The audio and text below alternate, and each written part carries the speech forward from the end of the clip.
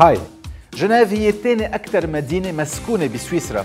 عرفت ازدهارها الكبير بالقرنين التاسع عشر والعشرين وصارت مركز عدد كبير من المنظمات العالمية ومن بينها الأمم المتحدة. تعتبر اليوم مدينة عالمية مركز مالي ودبلوماسي مهم.